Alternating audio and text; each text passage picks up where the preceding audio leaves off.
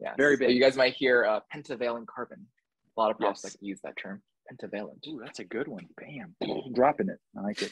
Knowledge. Yeah, so this is not in the p, y, or pz orbital. You cannot resonate. Oh, Are you're you still frozen? You have to be in a p orbital if you're going to resonate.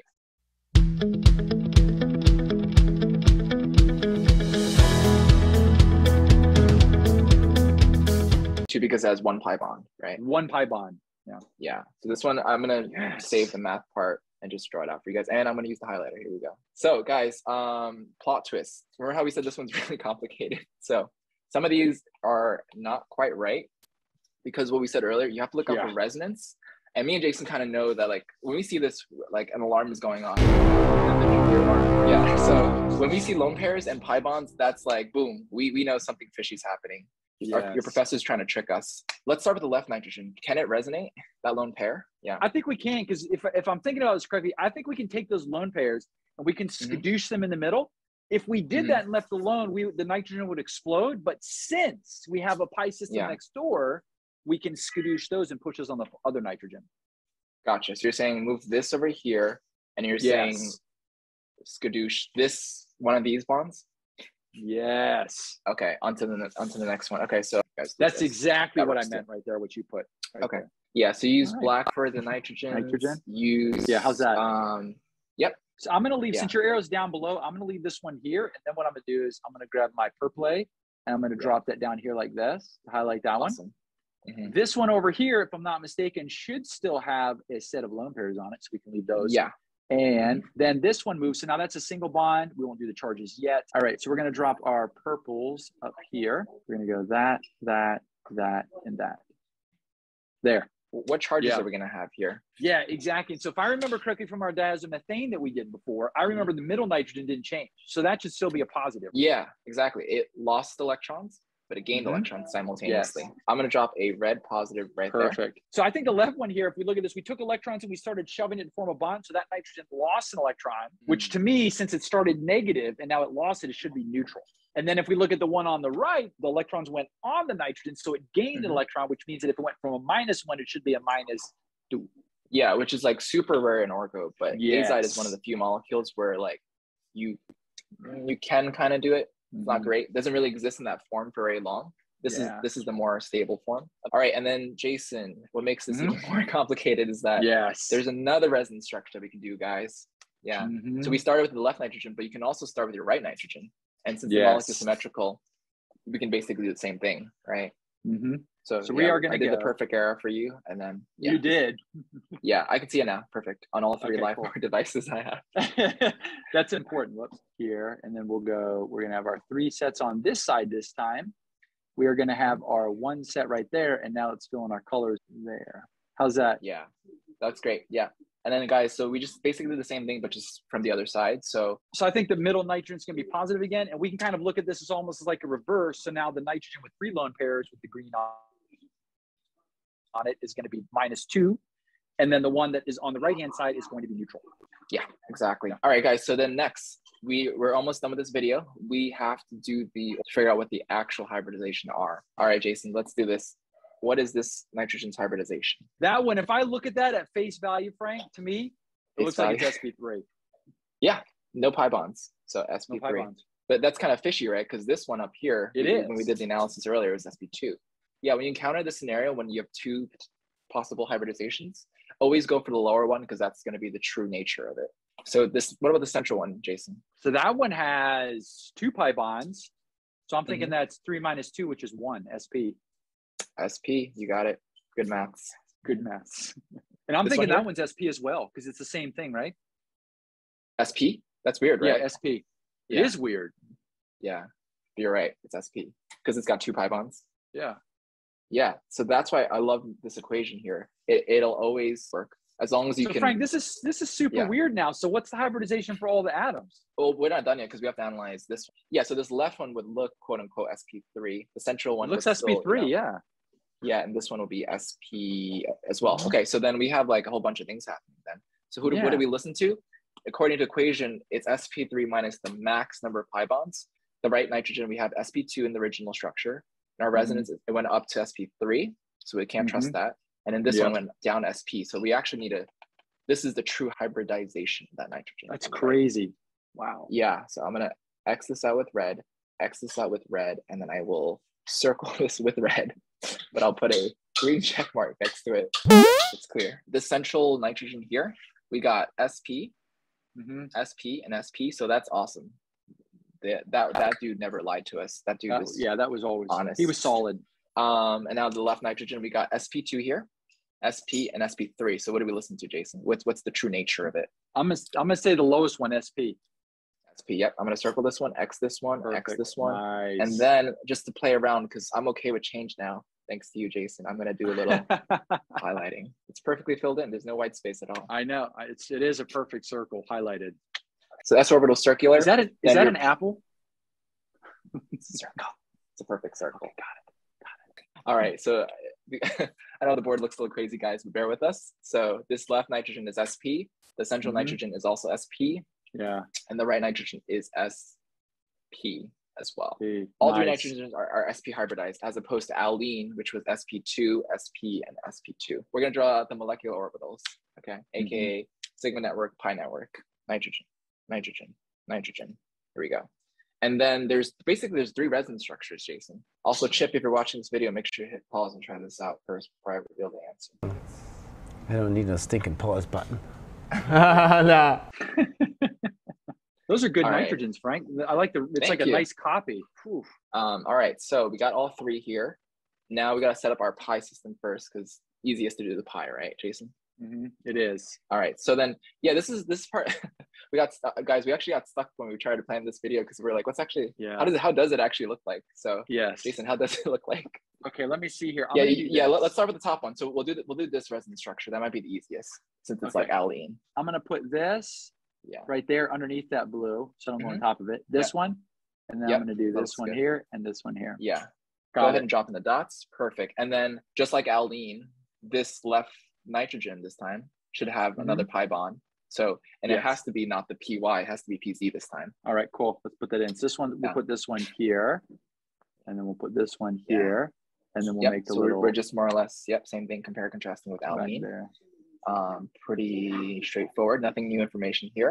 There, Um, and the dots. it- Yep. Inside the bond, it has to be just what one electron, one electron, right? If we're Yep. doing a bond. Yep. Okay. And then I'll use the purple and I do the the whoosh, the whoosh, the whoosh, and the whoosh. So nothing's new there, guys.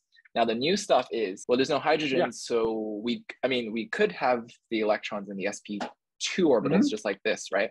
But we know that in reality it's not sp2 hybridized. Even in this resonance form, in the location of the electrons have to be as if it was sp hybridized nitrogen. It's sp hybridized, so you can only have two sp orbitals okay? because that's the way SP works. And an S goes in, a P goes in, two orbitals go in, two orbitals get pumped out. At this point, you're really graduated. This is like the highest level that we'll be doing. We gotta put, yeah. gotta put everything that we did in 1A and 1B together so far.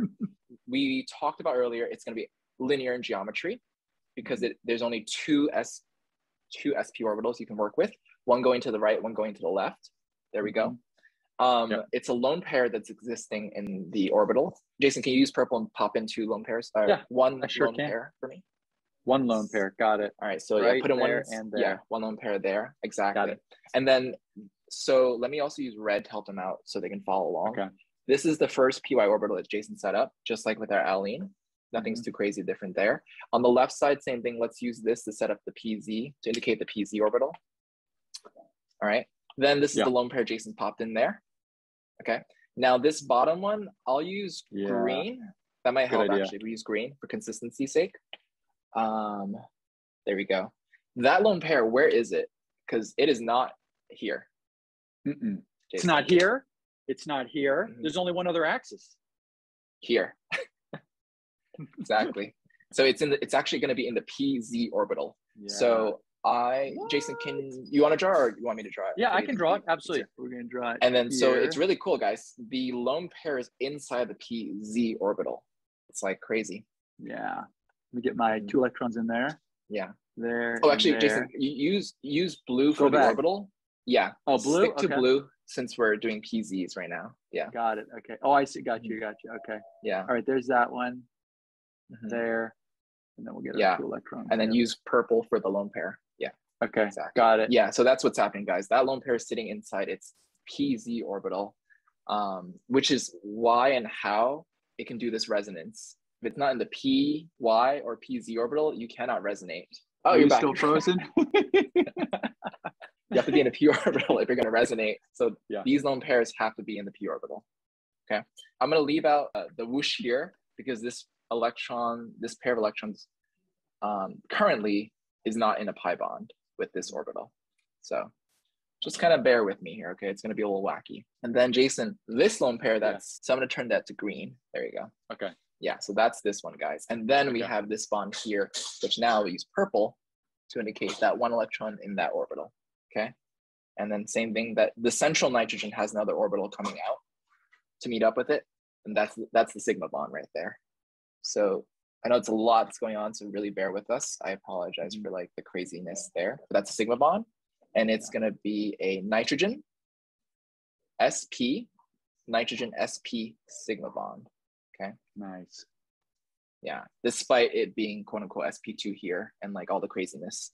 Okay. Mhm. Remember their true identities SP, SP, SP. They're all SP. Yes. Okay. All of them. Yeah. Yes. And these lone pairs are going to be sitting in an SP orbital. So then what we what's left is this this sigma bond right here, Jason. Yes. Um, that has to be uh, what orbital? What orbitals must be making up the sigma bond right here? That one's going to be an SP. SP to an SP. Yeah, so this is the same dealio, pretty straightforward. Uh, it's a sigma non or NSP NSP sigma bond. Yeah, so we're all set there. Yes. Um, do we need have do we need an up- orbital for the other lone pair on that nitrogen? exactly? So this, yeah, let me do this one first. Okay. that'll make Okay. most sense. So this Got SP SP orbitals right here. that's where the lone pairs are. This one here, the one that's resonating. Yeah. Is resonating. so it has to be in a Yeah. what orbital? That's going to be in a P, and Exactly. specifically a P Y. Yeah, nice, Jason. Nice job. So lone pairs there. Cool. I think we're all set. Mhm. All right. So guys, this is what's happening with azide. Whew. Very cool Very molecule, but it's a little bit complicated. Allene. Very cool molecule. Looks exactly the same, but very, very complicated. Super Like holy crap. And guys, I don't think I really want to do these two because uh, Yeah, I don't think we really need to do it, honestly. I don't think we need them. guys- yeah. yeah, why don't you just just do it for funsies and then you know post your work down below. I don't know, email Mhm. us. Maybe we'll we'll cover it in a future podcast. But Yeah. I'm tired. Yeah. I think one. I think and one's this- good. Yeah, and this is this is the major resonance contributor. This is the main Yeah. thing you want to focus on. All right, next, Jason, ChemDraw I am going to drop in your ChemDraw art. Okay, Okay. you ready? I think we did it a little differently. That doesn't mean we're wrong. It just Does means we did not. differently. No. That's right. We want to show them Yes. options. Like we did it this way in our drawings, but then the Yeah. ChemDraw looks this way, right? Yeah. Exactly. That's all Yeah. we're trying to do. That's right. Options. yeah. yeah so when we planned it we had yeah we just set up our py orbitals first on the left side so Mhm. essentially we just if you pick up this um azide you know just Yeah. pick it go. up yeah and just go whoosh, Exactly. and then you get this. Same. Yeah, same thing neither one is wrong but both are right that's what's important Yes. They're both correct. yeah there you go Okay. all right perfect and then we already filled in the electrons for you guys to help out Yeah. and this is the whole Jason thingy they talked about earlier. He wants uh, we like oriented so you can see like what the PZ orbitals actually are positioned. But on the test, same thing, draw like this because I don't think your props will accept this.